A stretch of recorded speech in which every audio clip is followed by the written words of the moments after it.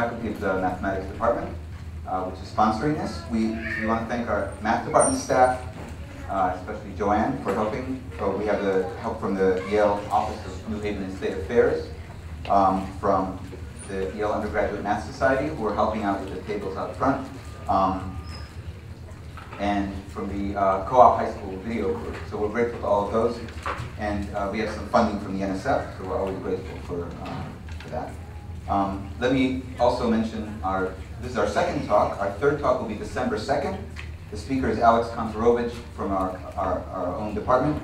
Uh, his talk is going to be about number theory. He's going to talk about prime numbers and the Riemann hypothesis and the saxophone.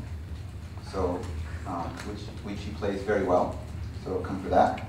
Um, and we're going to have, uh, after this talk, there will be two things. There'll be our, our usual prize drawing for people who filled out their little cards. So if you did, we'll draw a card random and you'll get um, a valuable gift. Um, and then we'll have a workshop. So George Hart, our speaker today, is going to tell you about all this stuff. And he's going to do lead a workshop at the end, which takes an extra um, 30 to 60 minutes. So if you, so we hope you'll have time to stay for that, and you can end up building your own object.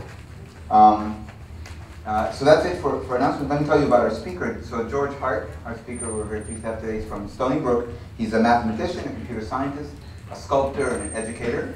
Um, he's done many things. He's, he He's built and exhibited many geometric sculptures. You saw some of his smaller things out front.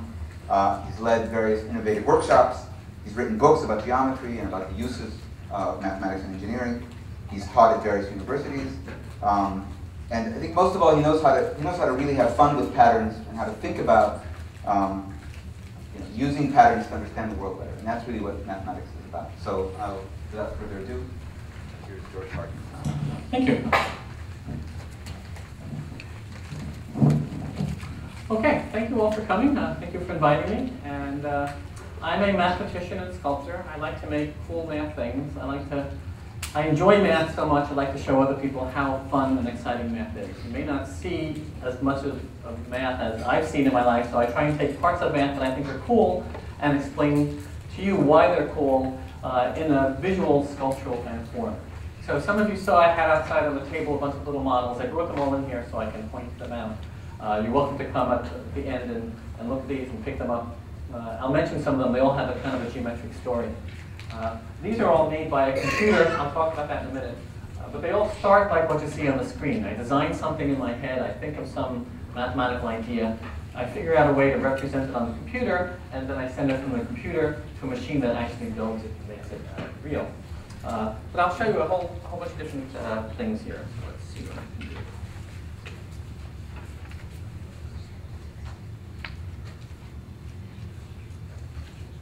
Good, okay.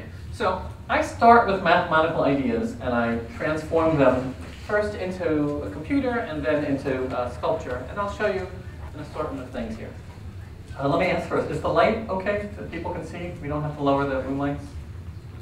Yes? Everyone's happy? Good, okay. Um, so uh, this is a sculpture made out of CDs. It's about that big. Uh, and it has a mathematical pattern to it. Does anyone recognize the shape? Can you tell me what's the underlying mathematical idea?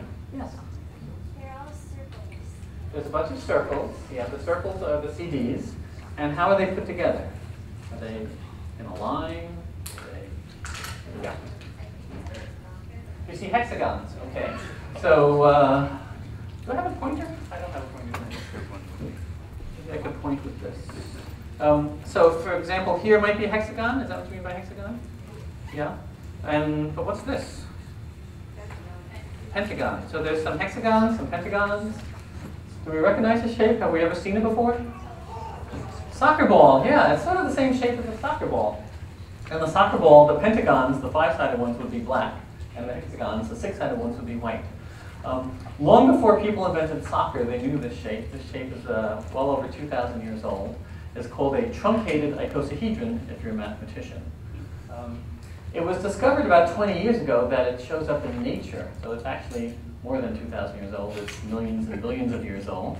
Um, the carbon, if you take carbon atoms, and if you have a candle in the fire, there's carbon that the atoms get loose in the flame and then they come together. They tend to naturally make this shape. Um, there's something called a buckyball, if you've ever heard of that. Anyone heard of a buckyball? Yeah, so this is a form of carbon, like carbon has graphite and has diamonds and has like coal. And carbon could also make the shape where each of the, the pink things you see, uh, the pink sides of the CDs would be where a carbon atom is. And anyway, it's examples of how geometry shows up uh, in chemistry and in many other fields. Uh, I like to take mathematics and apply it to sculpture, to art and design. So you're probably familiar with how mathematics is used in science and engineering and accounting and many, many different fields. Um, but you can add to that list of fields art and design. People who are doing art are doing things with patterns and structures uh, as much as you're doing uh, mathematics in any other field. Uh, so I'll just show you a bunch of sculptures. Um, and there's also the question of how do you hold these together and how do you glue them and the sort of engineering questions of how do you make these sculptures. Uh, I'll talk a little bit about some of those things, but mostly I'll talk about some of the math. So uh, this is basically a truncated icosahedron uh, to a mathematician. Uh, so this is a larger sculpture made of CDs.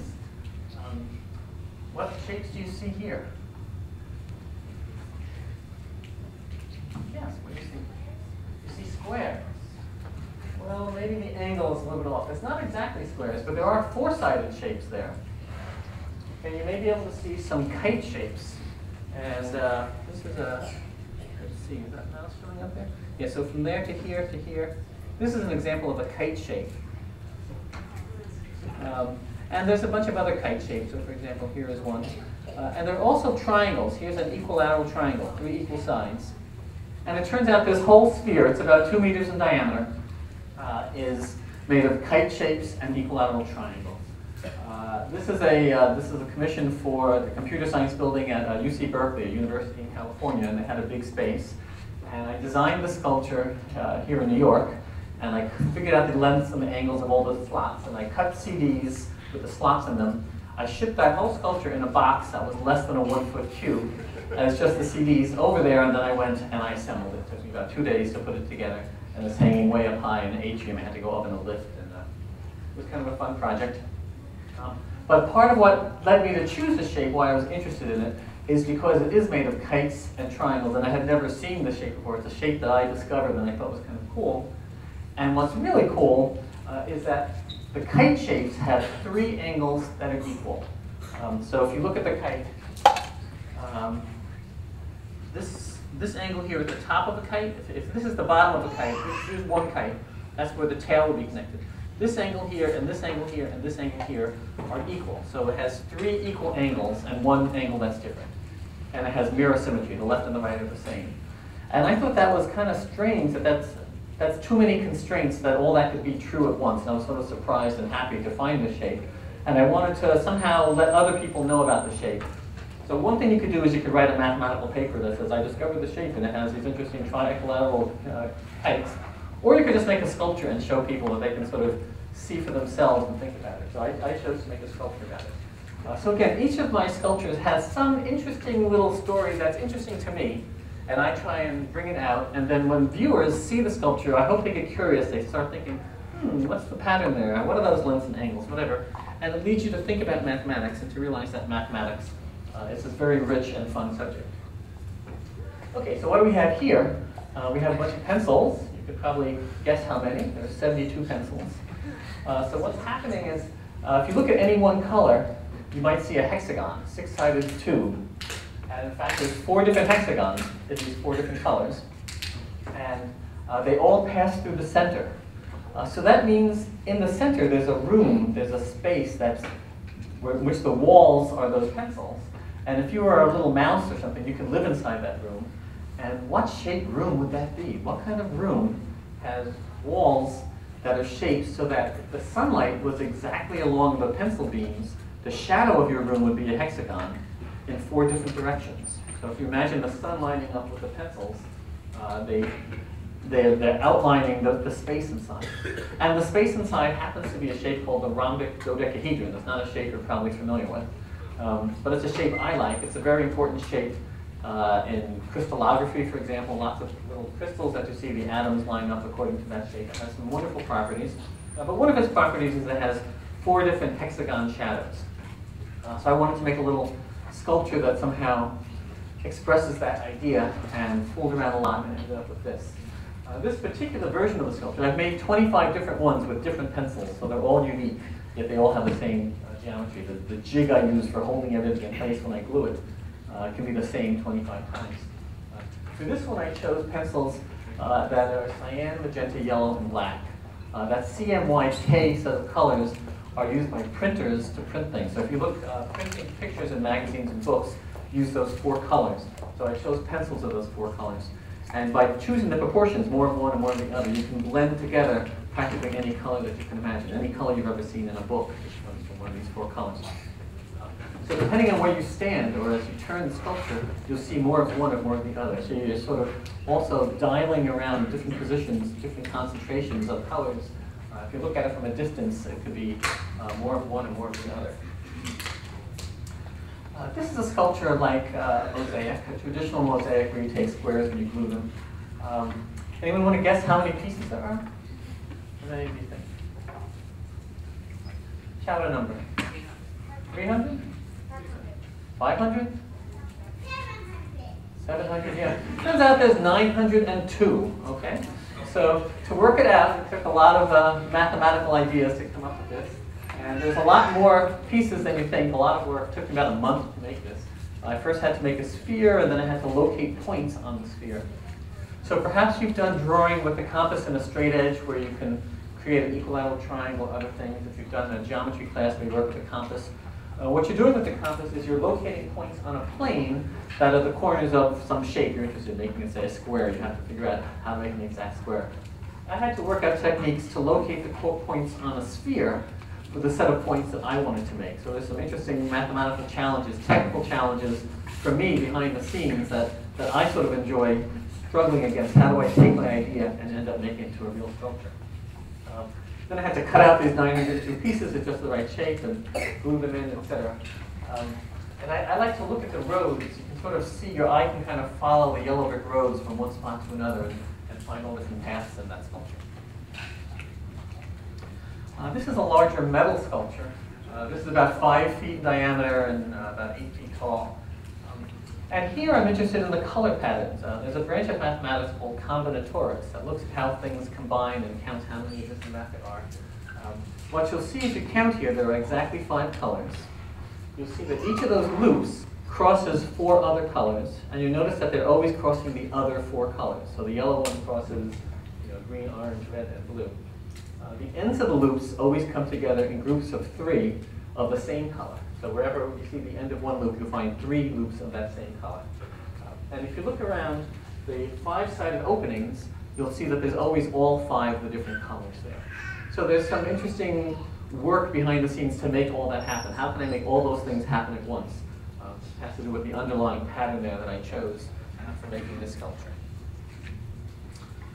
Uh, this was a commission for a library. Uh, this was actually in 1999, at the turn of the century. Um, they wanted a big sculpture, so what I proposed was that they set up a voting booth, and everyone who comes to the library could write in their three favorite votes of the century, so whatever the three favorite books are, and the librarians totaled them, and then I used a computer-controlled router to carve the titles and authors in these wooden things that look like books, but they're actually hollow. Uh, and along the spine of each book, there's a steel rod and I brought all these pieces to the library, had a foundry cast those little donuts, so they're made of bronze, and I drilled holes for the steel rods to go in, and little holes for screws. So I had like an instant sculpture kit. And I brought this thing there, and I, we put up signs, you know, come to the sculpture barn raising. And 100 people came, and I had no idea, is this going to take an hour, is this going to take all day, is something terrible going to happen? But it took about two hours to build, and nothing terrible happened. You know, I had all these worries, someone's going to steal a book or some book's going to break, whatever. Uh, but it slides together with a very interesting, complex uh, sequence to get everything there. Um, so each of the donuts has holes in it for the steel rod. Each book has a steel rod. Imagine you built everything and had one last book to go. You couldn't stick the book in at both ends because the rod, the, everything else would already be in place. It's sort of like the problem of putting the toilet paper holder in the wall. So in the toilet paper holder, you can kind of squeeze it. It has like one, it has a rod that squeezes it, goes in and then expands. Uh, I wasn't that fancy, so instead, uh, I designed it where all the edges are parallel. This is a particular type of shape called a zonohedron. A zonohedron is a class of polyhedra forms where all the edges come in parallel families. So you can cut this in half, And one half connects to the other half with 10 rods that are parallel, so they can all join at once. And then each of those halves can be built in two halves that join together, again, because it's parallel. So the whole thing can be sort of divided in half and half and half and half. Just have to mentally play that backwards to put this together with 100 people at the library, and it took about two hours. And uh, the number one book of the library, uh, I think it's not in this picture, but it was The Catcher in the Rye. That was uh, the, top voting book, and there's, there's a pattern to how the numbers go around in the six different types of wood that are there, etc. So I like to do these things I call sculpture barn meetings, and I'll, I'll show you some pictures. Um, in any case, so I have a lot of sculptures here, and I'm not going to tell you about all of them because it would take a long time, uh, but they each have a, an interesting story. Um, this one I'll just say a word about. This is about a meter in diameter. Uh, this is at a university in Spain. It's 180 pieces. They're laser cut wood, and uh, the thing that's hard to believe or to understand is that each of those pieces, wherever two pieces join, uh, there's what a carpenter calls a mortise and tenon joint. That means that there's a hole in one, there's the end of the other that kind of sticks out and it goes through a slot, and then there's a hole for a pin that goes in, a little wooden pin wedges in there and locks it together. Um, I laser cut all those pieces, and the laser cuts perpendicular to the surface, orthogonal, at right angles to the surface. That means wherever two, point, two pieces join, they join at right angles. So everything you're seeing there, wherever the pieces join, it's a 90 degree angle. And it looks like, how can those be 90 degree angles? I see all these crazy curves and stuff. Um, but in fact, I started from that constraint. Knowing that the laser cutter cuts at right angles, I said to myself, well, I could make like a cube, that would have right angles, or I could make something with more right angles. And then I sort of challenged myself, what's the most complex, interesting thing I can make that only uses right angles? Uh, until I came to this with an enormous number of right angles. Anyway, so it's completely regular, there's all these curves, but the joints are all at 90 degrees. Uh, so that was actually my prototype, a wooden uh, one, a meter in diameter, before making a larger scale version of it. This is two meters in diameter. Uh, this is at Stony Brook University in the computer science building. And again, it uses the same technique, slightly different proportions because the, the metal is stronger than wood, it can be thinner. Uh, but again, it joins together with uh, and tenon joints and uh, little cotter pins as the pins. Um, here's a kind of a sculpture that doesn't have any nuts and bolts or glue or whatever. Uh, so what I was doing here is challenging myself to come up with a shape that locks together, and you have to kind of bend the little, the last one a little bit, kind of spring it into place. But once it's in there, it all pushes against each other. Uh, so there's 20 pieces of the shape you see on the right, and it's very carefully calculated so that they rest against each other. And uh, it's completely self-contained. I mean, it's not glued or welded or raised or anything. Um, I think if you took out one piece, it would just go shooting across the room. Uh, and I had to use like a big wooden lever, a big long, to get that last piece in there to kind of bend it to snap it into place. But then it's incredibly uh, very solid. So it's uh, just steel, uh, powder coated red. And you can see the little notches. There's six notches in the shape on the right, where each one connects to six other pieces, and that's what holds it together. So the last one is what locked it together. Until that last one was in, it would just fall apart. How big is that one? Um, it's only about this big, maybe seven or eight inches. And I should mention the construction that we're going to do today, that you're going to do, those of you who stay after, we're going to make a structure out of playing cards, which has the same property that all falls apart until the last one gets to, uh, in, goes together. So maybe a little frustrating to get that last piece. Uh, but this is sort of the thing that I've, I've gotten used to, and I, I think I can get you uh, used to it as well. Uh, so here's just sort of a similar idea, but a much more complex piece. But again, the very last piece has to kind of snap into place to lock this together, but it's a much more complex kind of interlocking. Um, this was a uh, second retirement present for a friend of mine, a professor, a math professor who uh, retired, and uh, he likes puzzles, so I designed a puzzle for him.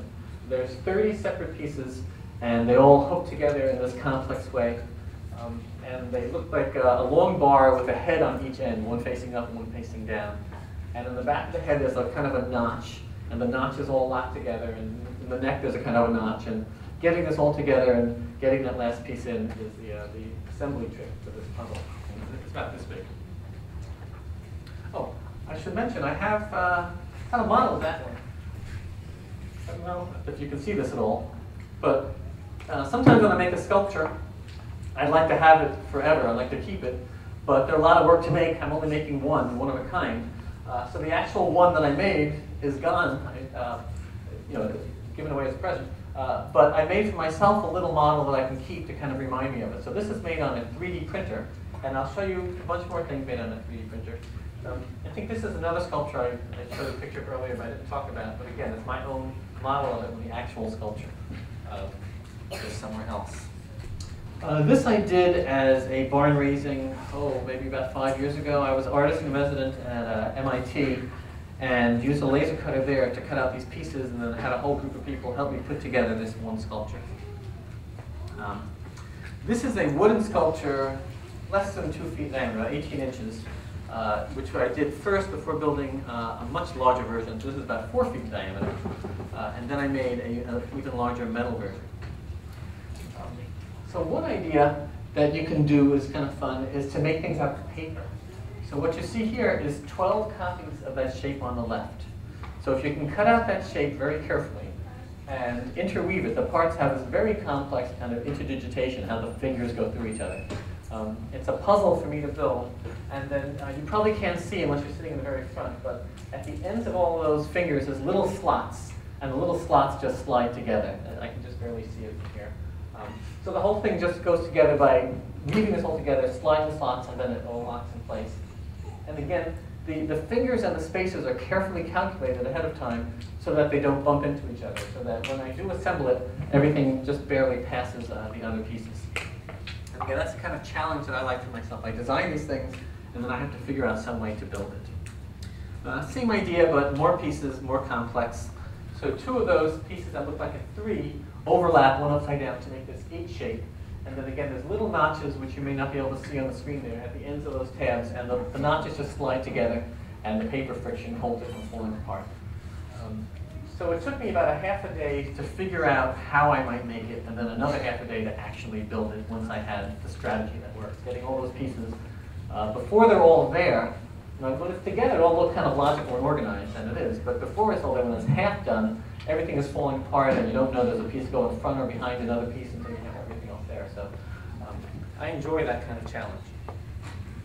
Uh, this, on the other hand, is a much simpler thing to make. Uh, this is a kind of a topological surface. So I think last week's talk was about topology. Some of you were here may have learned something about surfaces and edges.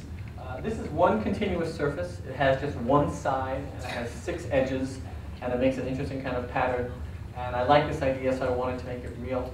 It's actually made of wire. I took uh, wire to build this whole shape, and then I coated it with paper mache white. So it's paper mache built over a wire framework that gave me the geometry.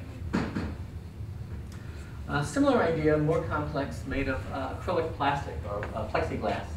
So each of those pieces of plastic has a twist in it. I had to heat it in an oven to soften it, uh, to get the plastic soft and then put the twist I want and put it in a jig that held it exactly at the right uh, angle that I want. Let it cool down, and then I had the pieces, and then I had to assemble the pieces, glue them together. This plastic is very rigid, doesn't, it's not like rubber, it doesn't flex, so everything had to be exactly right. It wouldn't, if there was a little gap, there would be, the glue wouldn't be there. Uh, so it had to be very carefully worked out to get all these pieces uh, very precisely made and assembled. More pieces uh, made of acrylic plastic. Um, I won't talk about all these.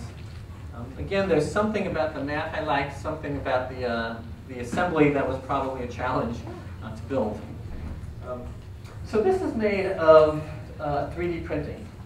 Um, so what you have here is a big shape, uh, mathematician will call it an icosahedron, and each icosahedron is made of smaller icosahedron. Each of those is made of a smaller shape. It's kind of a fractal shape, uh, and it's got many, many pieces that just barely touch each other to connect there's no way I could build this by hand. If I had to carve this out of you know, soap or wood or butter or metal or whatever, um, it's just too complex to do that. Um, there's no way I can make little pieces and glue them together. They wouldn't stick at the point. The only technology that can make this is what's called a 3D printer. So all these things I have here are made on 3D printers. Uh, a 3D printer is a machine uh, that I can design a shape on the computer. I can basically hit the print button and the machine builds it. And the way it works is I design the shape, I think of what I want solid, what I want air, and the computer can calculate for each cross-section, let's z equal 0, 0.1, 0.2, 0.3, every, say, thousandth of an inch, what the cross-section of my shape looks like, and print that cross-section using material, a thousandth of an inch thick, and then stack all those cross-sections. Uh, so this is made of nylon on a very fancy 3D printer, at Stony Brook University that cost about a quarter of a million dollars. Uh, and each of these layers is built on top of the other by working in a powdered node. Powdered node. So you have a bucket of powdered nylon, very fine powder. A computer-controlled laser draws on it with hot enough to melt it, but it only draws part you want solid. Uh, then that cross section is melted and infuses together. The rest of your powder is still powder. And it's sitting in a piston that goes down a thousandth of an inch. A little supply chamber comes up, brings more powder, a little squeegee roller flattens it out, and then the laser melts the second cross section, and that melts to the one below it. And it keeps doing this, melt, go down, add more, melt more, until you build up all these layers.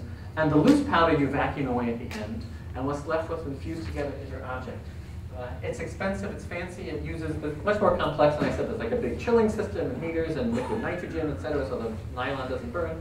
Uh, but in the end, uh, you can make anything you can think of. So whatever you can think of, if you can describe it to the computer, this machine can build it, uh, as long as nothing is smaller than about a thousandth of an inch. Um, so I have a number of models here that are made on that machine, uh, and this is one of them. They enable me to take very complex ideas and uh, bring them out. Uh, so here's one of a series of objects that's based on what are called hyperbolic tessellations. So mathematicians study all different kinds of spaces. Uh, one kind of space is called a hyperbolic space. In hyperbolic space, um, in some sense, there's, it's a different set of rules than our space, but they're consistent rules. So if you look at the ceiling, you'll see here at each point, you can put four squares around. Okay, so you can put four squares around a point and they exactly fit in our ordinary space. In hyperbolic space, you can change the rules, and maybe you can put, say, five squares around this point, or six or more. There's a lot more room in hyperbolic space, and you can do more things. Um, so I took some ideas, what are called uniform tessellations. Uh, so at each little vertex there, where, where things meet, they meet the same way, and it's a very regular pattern if you at it carefully. And they're all equal size holes that fit together in a uniform, regular way in hyperbolic space. But that can't live in our space. So I had to kind of transform it. There's ways that mathematicians sort of take patterns in other spaces and distort them as little as possible. Here I use something called the Poincare disk as a way to transform that idea to this space and then turn that into a sculpture um, that sort of shows something about the patterns I was interested in. And also I tried to create kind of an undersea, underwater feeling that this is something that you might find swimming around in the ocean. Uh, and as part of a series, uh, that again take these what are called uniform tessellations in the hyperbolic plane and transform them into sculptures. Um, so here perhaps you can see the idea if I, if I use my mouse. Um, if I look at any one corner, say here, I have a square, one with four sides, and then I have one with five sides, and then I have one with four sides, and I have one with five sides. In fact, at every vertex, everywhere uh, four things meet, there's square, pentagon, square, pentagon. And they're all regular, and all the pentagons are equal, all the squares are equal in hyperbolic space. But we can't do that in our space, so I have to kind of distort it. That changes the, uh, the proportion in some sense, and those littler pieces as you get to the edges. But it illustrates this pattern that I was interested in. So we can only fit four squares. We couldn't put pentagons. Would have too many angles, uh, too many degrees in our space, but we can do that in hyperbolic space. Uh, this is also made on a 3D printer. Uh, I won't say anything about this, except it's actually, it, it, was buried in a time capsule about five years ago. It's going to be dug up in 45 more years, um, sort of representing the state of, of uh, art and technology. Um, curious to see if people in 50 years uh, like it or not. Uh, so I'll show you a couple of pictures of, these are all about eight inches. These were centerpieces for a fancy mathematical dinner. And they have interesting uh, colors, and these are built on a color 3D printer. So there are 3D printers that not only make the shape I want, but can assign color to every point. And so I can use mathematical algorithms to decide how I want them colored, and the machine builds them. Um, as I said, these are about eight inches. Uh, here again, I was trying to get sort of an undersea look, but each of these has sort of a, a different uh, idea that I was trying to create.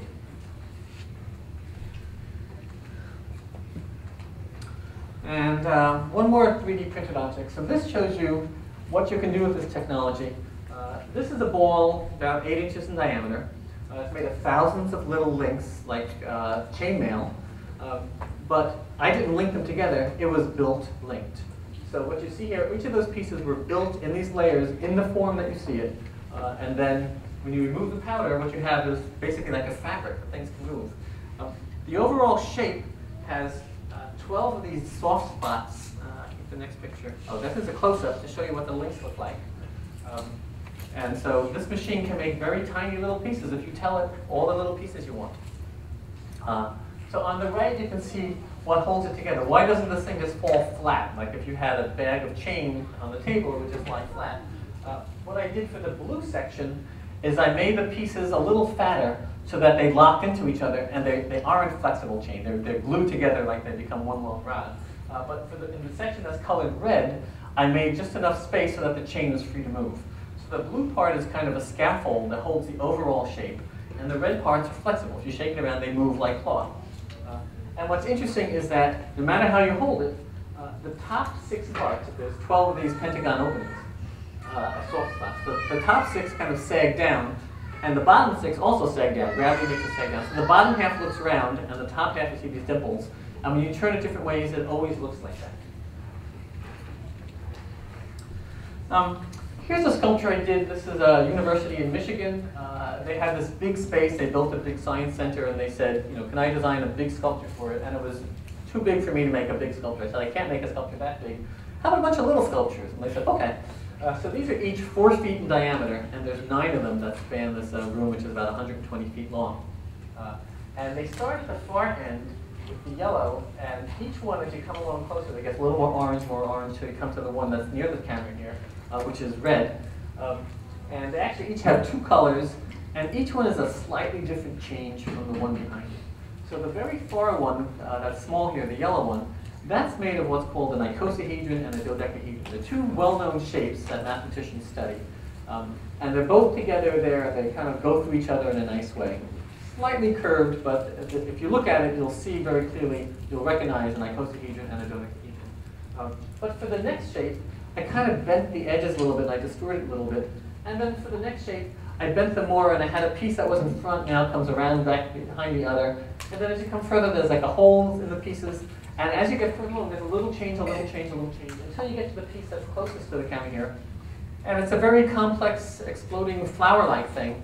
And it's not at all obvious where it comes from uh, unless you look at the whole sequence. Uh, so to me, uh, this is somehow kind of, a, I'd say like a metaphor for what a mathematician does when they create a proof. So the idea of a proof uh, is that a mathematician starts with known simple things that everyone likes and agrees. I said, I, I believe those facts and then combines them and goes a little change, little change, and you build up a sequence of steps until you end up with something new and surprising. Uh, and this is sort of illustrating the idea of a proof, the idea of a derivation of a little change at a time, starting from something known until you end up with something kind of wonderful and fun um, in a visual, sculptural way. Uh, so this I did as a barn raising. I have some pictures here of putting it together. Uh, so there's a close-up. Uh, so what I did is I designed these nine different boards. They each have, oh, I forget now. It's uh, 180 of these big pieces you see, and then a couple hundred little brackets and lots of nuts and bolts. Altogether, there's over 18,000 pieces in this overall thing. I wasn't going to put together 18,000 pieces. I put up a sign, come to the barn raising, so everyone would come help me put together these things. So um, the whole campus came and helped me assemble these over uh, about four hours one morning. Uh, and here you can see some of the steps of put, taking these pieces in brackets and screwing them together. Um, and each one is different, so I had to run around from table to table, uh, sort of helping people with the particular shape of, of that they were building, uh, which were all slightly different before we hung them up. And that's the final result. Um, so I have a little video of that. I'm going to interrupt this part of the talk and switch to some videos uh, and show you this. Uh, so this is a time lapse of building it over the period of, uh, you'll see in one minute, well, it was actually about four hours, uh, putting all these parts together. And so there's an inner layer, and then there's like an outer layer. There's two different shapes of the big pieces, slightly different colors. And it's like instant sculpture. You can see there's already chains hanging out from the ceiling. I had worked out where I wanted them hung, and had the building people put these chains. So then they came in with a lift, and they can lift them all up uh, and get each one up into place.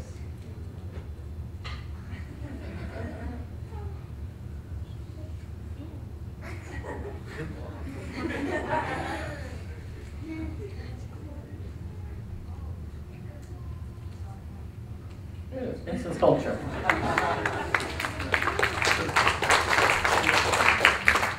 that's at uh, Albion College in Michigan, if you're ever in the Detroit area.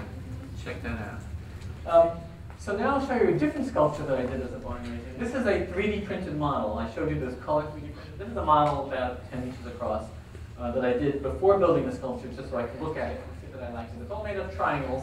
About half the triangles are flat, and half of them have a little bend in them. All carefully worked out to fit together to make the shape. Um, and I had a laser cutting company cut out the metal pieces, and I brought them all. Uh, this was actually done on the mall in Washington, D.C., outside the Smithsonian about two years ago. Uh, you can see the parts there. And just have anyone who wanted to come to this table and help me put it together. And there's a very complex plan for which pieces of which colors, there's uh, four different colors, whether the bench and I go together in one arrangement, but uh, this worked out in about two and a half days, uh, getting all these pieces assembled, uh, building larger and larger modules uh, that kind of went together until uh, there's the final sculpture. it's called gyrangle because it's based on a surface mathematicians call a gyroid surface, which is a, a very wiggly, fun thing, and I figured out a way to make it out of triangles, which I thought was cool, uh, which is the, the basis for this sculpture. Okay, that was used actually as a, the logo for a conference. Uh, so if you like this sort of thing, if you like math and art a lot, uh, there's conferences. And in, in, every field, there are conferences where professionals come together and sort of show their new ideas and talk to other experts and uh, sort of get a creativity recharge of what's going on. Anyway, so this field of math and art, this Bridges Conference, uh, which uh, was a couple months ago, it's one every year, was uh, at Towson University. I happened to use my sculpture because it's at Towson University. Um, and I should just mention, there's also a journal. So if you're a professional, if you want to, if you're an academic, you want to publish papers about your research in this area, uh, there's a place called the Journal of Mathematics and Arts for that. Uh, people often ask me, can I make a kit, something that they can build these sculptures themselves? So I did make this kit. Uh, this is a sculpture I made called Frabjous. This is a one-of-a-kind here. Um, and, uh, but for people to make their own version of it, I designed this plastic kit, and uh, you can buy this. It's, uh, you look online for Frabjous, and it's sold to the Museum of Mathematics, and uh, there's a fancy version with lots of colors as well. And let me say just a bit about the Museum of Mathematics. Uh, so mathematics is such a cool thing that it needs a fun museum. And uh, not too far from here in New York City, there is a Museum of Mathematics, which I've been working on for the last four years, uh, which is going to open this December in about one more month. So basically, it's on 11 East 26th Street. Um, it's going to be full of hands-on, interactive, cool things that uh, are fun to do, like you've seen in science museums, but where the idea is to learn something fun about math while uh, doing something exciting. Here's the kind of thing that's kind of cool.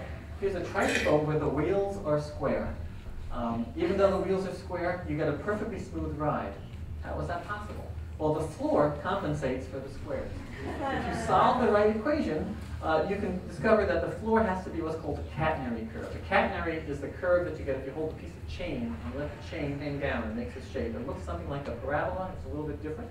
Um, but if you turn that upside down to make a kind of a bump, and you have a series of those, the corners of the wheels go through the, into the bumps, and uh, the axle, the center of the square, stays at a constant height, and the triangle, uh, the, the tricycle, rides on the axle so you have a smooth ride. So we made a round one with two of these. One goes clockwise, one goes counterclockwise. Um, I like to design activities. This is a kind of a hands-on building thing uh, made out of pieces that, that screw together uh, that can also be uh, also associated with museum. And um, let me just quickly show you a series of things that I've written up of fun math things you can do at home. Okay. Um, so there's a series uh, called Math Mondays that I wrote for um, Make Magazine. If you just Google Math Mondays, you'll find a whole list of these. Uh, here's instructions on how to take a bagel and cut it into two pieces that are equal and that are each a closed loop, but instead of coming apart as you normally slice a bagel, they're linked together like a chain. Uh, and there it is. so your homework assignment for tomorrow is to get some bagels for breakfast and cut them in this way that they're linked together. And the instructions, if you just Google uh, linked bagels, you'll find it. Uh, here's a kind of a construction kit, of laser cut pieces that uh, connect together to make a big thing. Uh, this I believe you'll be able to play with at the Museum of Mathematics. Um, this is an activity actually designed by my daughter. My daughter, Vi Hart, uh, also likes all the same things I like, cool math things, and she has a series of videos. If you Google her, you'll find some fun things. Um, she learned how to make uh, balloons into uh, you know dogs and poodles or whatever, and said, well, why don't we also make tetrahedron, octahedron? So uh, she created some geometric things out of balloons. You can Google that. Those are fun. Um, I decided to make something else with the balloon. This is like a ship in a bottle, but this is an octahedron inside a balloon. And it's an interesting question. How would you make an octahedron inside a balloon? It's not that easy, but uh, if you Google my webpage, you'll, you'll find the solution as to how to do that. Very careful. Very carefully, yeah. It's, uh, it's actually very, very easy, I'll tell you. What you do is you start with the balloon inside out, and you mark the parts on the outside, and you glue with rubber cement the strips wherever you want them to go, inside out. And then you turn it the other way around, you blow it up, and you have your thing inside the balloon. It's much easier than shipping a bottle, because the balloon be turned inside out. Um, here's just a fun thing you can make with light sticks. Um, these glow in the dark and they held together rubber bands to make a giant structure. Uh, this is a CD thing that you can put together with uh, sort of cable ties to make, uh, you might recognize the truncated icosahedron again, the buckyball, the soccer ball uh, in this form. Uh, here's a hyperboloid. I keep forgetting to hold things up for you, but um, here's a hyperboloid shape. It's made of straight lines, and there's a way that you can make it out of uh, skewers and little uh, ponytail type rubber bands that hold everything together. And it's flexible. It squeezes and opens, and it's all made of two families of straight lines. And here's what you get if you want to make it really large. Taking two plywood circles, a lot of string, big enough to stand inside of. Uh, this is a toy that you may have seen outside on one of the tables called Zometool. Zone Tool was designed by an architect for making domes, but it turns out to be really good for making lots of other things. Uh, what you're seeing here is a three-dimensional shadow of a four-dimensional object. So just as we study geometry in three dimensions, you can step back and think in higher dimensions, four dimensions. Uh, if you're interested in that, there's a great book called Flatland you might want to read about four-dimensional space. Uh, this is a very interesting, beautiful thing in four dimensions, that we take its shadow as a three-dimensional object, and I built it with, I forget, about five or six thousand pieces of Zometool, using 50 people to help me, uh, out in Central Park in New York City one day. So a lot of people came, we built this thing, we left it out there, and everyone who was walking through the park would come and see this and say, what is that? And we say, well, it's a three-dimensional shadow of a four-dimensional object. and both 600 cell.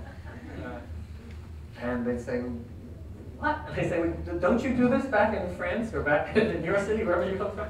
Anyway, so it's a kind of a fun thing, and then we took it all apart. It was just a, uh, a one-day sculpture. Um, so I mentioned some 3D printers that can make fancy. There's also little 3D printers that you can use at home. There's many different companies all around the world that are designing these. Um, this is one called the MakerBot, uh, which is about this big, and it, can, it melts plastic. It takes a kind of a fishing line in there, and it melts it, and then it uses motors to squirt out that liquid plastic to kind of build up, as if you had like a, a hot melt uh, glue gun that you were squirting, like using a robot to, to build up with it. And quite a few of these objects here are made on that machine.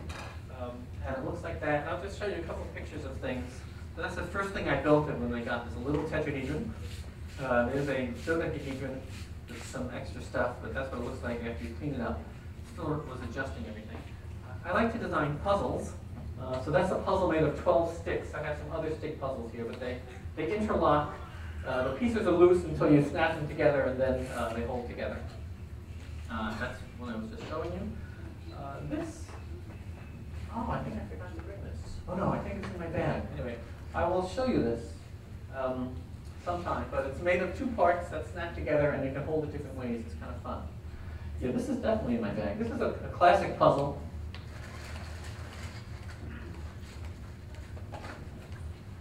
Uh, the puzzle is to think of what shape would fit snugly through a square, through a triangle, and through a circle. And it's kind of an interesting challenge. Is there a three-dimensional shape that would exactly snugly fit through? And the answer is a kind of a wedge you see on the right. It has a circle on the bottom, and it comes up on two sides, and it's a square for one part. And you can slide it through and have it exactly fit through each of those different uh, holes. And that's a, that's a puzzle I first learned as a kid from a Martin Gardner book. And if you're interested in uh, sort of learning about mathematics in different ways, uh, I strongly recommend uh, look up books by Martin Gardner. They're, they're written to show you sort of the fun side of mathematics in, in all different aspects, including puzzles. Uh, this is a light dimmer knob.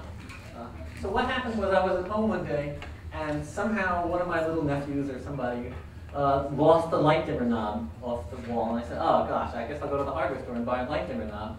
And I'm standing right next to my 3D printer, and then I go like, duh, why don't I just make a light dimmer knob? I have a 3D printer. So what would be a cool light dimmer knob? Well, obviously one based on a hyperbolic tessellation.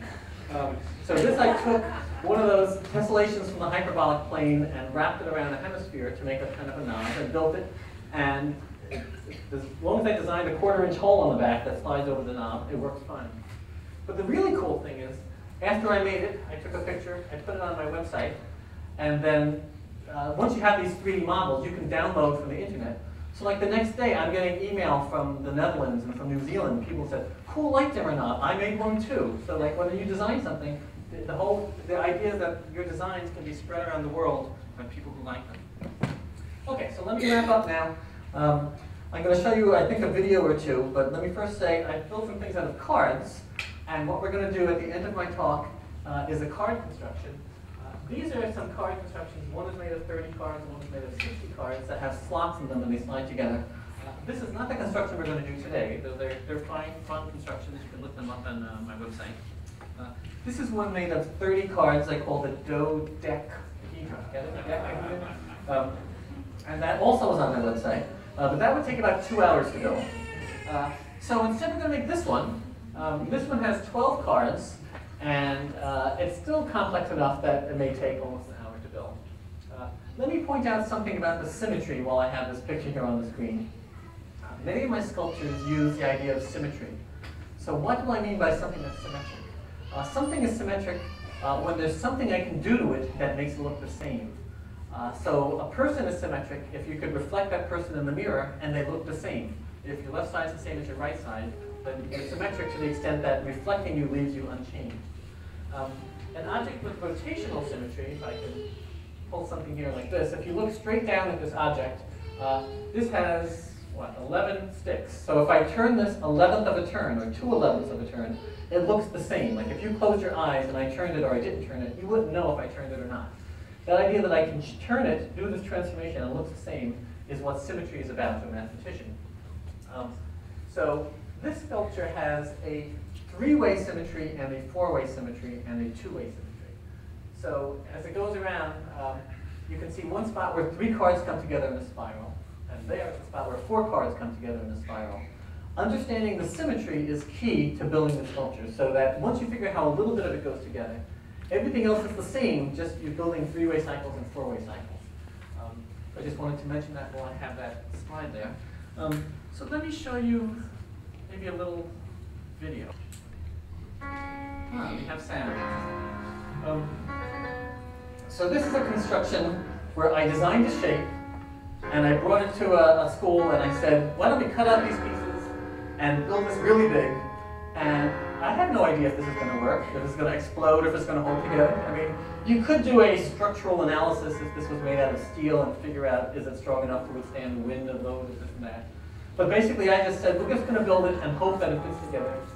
But maybe it's going to collapse at the end. I don't know. So I designed this template, and I brought the pieces over um, uh, to the university. And uh, we ordered some cardboard, and I brought a little saw so we can cut out the pieces. And that's the template. So what you're seeing is one cardboard master that I had made at home, uh, planning that that shape, which has six slots, will exactly fit together with itself in this complex way. And so we traced it, and if you can see there, that's actually a stack of five pieces on top of each other. So we took five pieces of cardboard and held them together with these black binder clips traced the template on top um, and started cutting out these pieces. And I didn't really know that it would fit together. I just sort of hoped. anyway, it started to fit together. That's good. So these pieces join together first as a cycle of three that make a kind of a three-way module. And then the, each module has to join to the next module and the next module, and there's sort of three levels of joints. And a lot of pieces, 60 pieces, so we spent a lot of time cutting and cutting and cutting.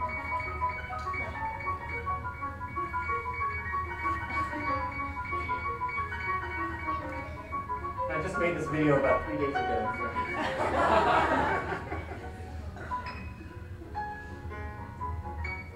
It's very easy to get things backwards flipped around, so we have to kind of be careful for that. You can see in the right that yellow paper model. So I kind of knew that in paper it would work, but the paper is much more flexible than.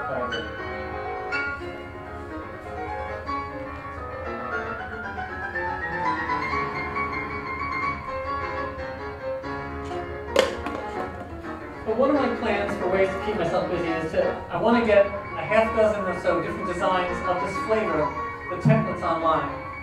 Um, haven't yet uh, finished writing the webpage for this, but so that other people can then take this template and do this at their school. This could be a math club activity or whatever. Um, and with the video of instructions as to how the parts go together.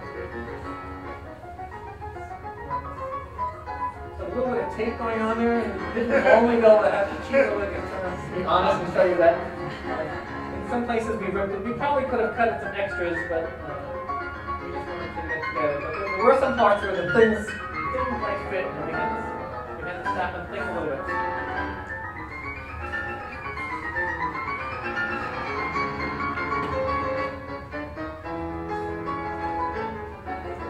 And it took a long time. It took three hours, so uh, you might see in the end and say, oh, I, that's easy, but uh, things take much more time than you realize.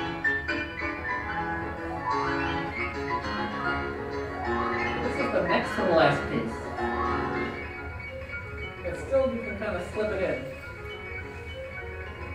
But we had a puzzle with the very last piece. Getting the last, the last module couldn't fit in through the hole to get behind where it had to be. So we had to, had to stop and think a little bit. How do we get that last module in when it's bigger than the hole?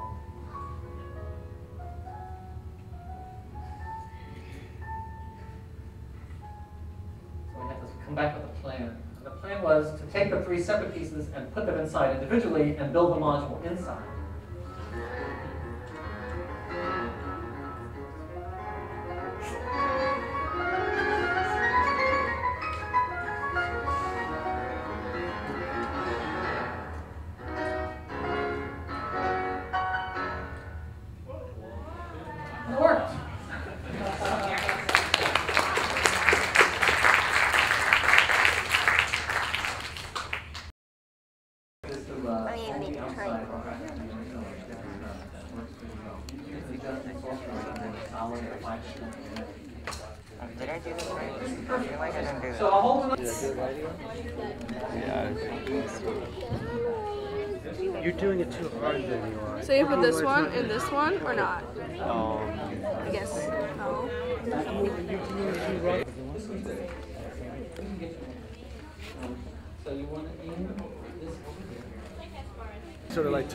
Like it